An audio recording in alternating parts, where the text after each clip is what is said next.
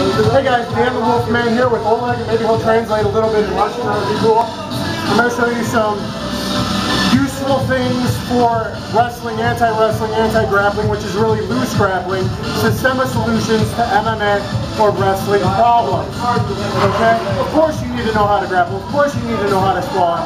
Just like in wrestling, you know many different defenses to the same attack. This is just a different way of doing things. Okay, but it's important to know. I showed how if he gets in on you, how you can manipulate the neck. Now this is if you can anticipate it a little bit earlier. If the guy's coming in here, I can loosely hit him with like a whizzer, but not a strong whizzer like this. A loose whip and step back. Maybe I rotate him to the ground. He really comes with energy. Like a lot of times you're against the cage. If you get your back stuck against the cage and you get in a shootout, the guy changes levels and comes in. Okay, it's very simple. But instead of throwing a hard whizzer, I'm giving a loose whip with my left arm. I'm back pivoting with my right, and I'm coming in here. If he doesn't go down to the ground, then I'm going to loose here. Here, and maybe there's a knee to the face or a bad knee to the body. If it stays up, it's still this, and it can still work in arm spins. Okay? Say something Russian about what I'm talking about. Он использует энергию нападающего и расслабленным движением, чтобы не входить в замок, просто а, как бы подталкивает твое тело и придает ему вращение. И тогда человек, используя свою энергию, собственную падает. То есть э, самое главное использовать не жесткий замок, а расслабленное движение, как бы продолжить инерцию его тела. So this could be from here, relax, the guy just attacks you. He goes for a sucker clinch, you can just do it relaxed from a hands down stance. Or you, this is a, an MMA, I gave a good example. We had the shootout, we started swinging it, and he comes in. Boom! And then the knee to his body, rotate him around, here. Okay? One more. Now, if Oleg attacks a little lower, more lower on the waist, take like a loose punch with my wrist or a cobra punch. Here, I got his arm or his back, I can slap his back or this way down. Then I got a break right there. Okay, again nice and slow because this one's kind of nasty if I did fast. A lot of times a guy will like hit and come down low. So if he comes, I'm gonna touch his arm or his back or something and throw this out to his face across face. Okay, the wrist is, or the thumb to his eye, his nose. As a, as a wrestling cross face, loose guy. So he comes in, I'm going to slap and cross face him. That breaks his structure. Give him a little more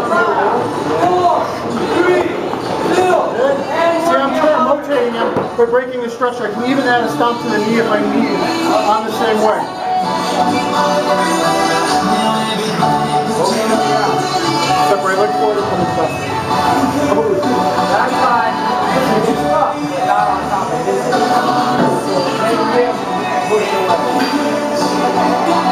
One more time.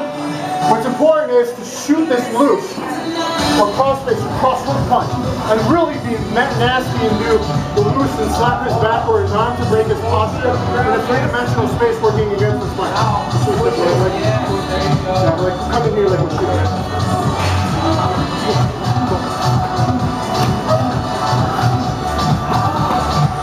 So I got the, that healing Ude Garami right there on him. I got knee on belly. I transition to self-defense. Can slap him in. You have a lot of options there. So there's some simple systemic solutions to an MMA problem. One more. You know what? I'll pick on my leg like you're to take it on with a single leg. Okay. If a guy's got a single leg and his head's in, you defend by putting your shin and hopping to the outside, throwing. These this is all wrestling good stuff. Okay? You can push out and do a jump, uh, jumping knee knockout there. Let's just talk wrestling. This high's in the center. Then you just your forehead, your eyes kind of the chest. What I can do is as I'm hopping with balance, and I got my shin here, kickstart defense is also good, that's out and down. Okay, so pressing defenses are good, but here's a looser interpretation of wrestling. I do a little backhand hit and rotate his head.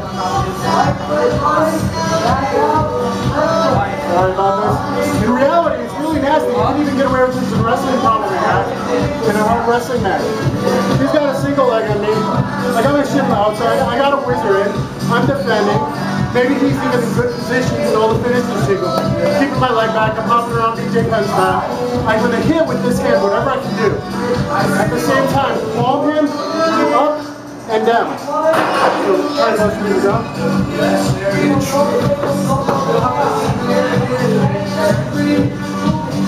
Very simple. Loose, systema-like solutions to MMA and wrestling problems. I'm Dan the Wolfman. Go to MMAforselfdefense.com. Thank you.